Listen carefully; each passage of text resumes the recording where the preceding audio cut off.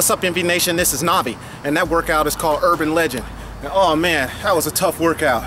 We started out five sets of 15 on the leg extensions. The key with the leg extensions is at the top, you really want to squeeze that quadricep muscle. You know, I try to really, really focus on really squeezing the muscle at the top of each exercise. Next, we moved on to five sets of 15 of the curl presses.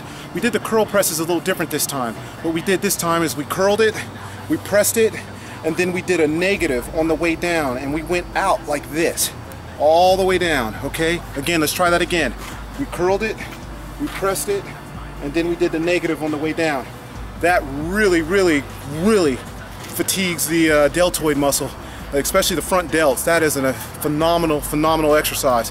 And finally, we did 50 floors, skipping stairs on the Stairmaster. The key with that exercise is you want to make sure you squeeze the calf at the top of every single repetition. Let me show you how I squeeze the calf. When you get to the top, you want to squeeze just like that on every single repetition.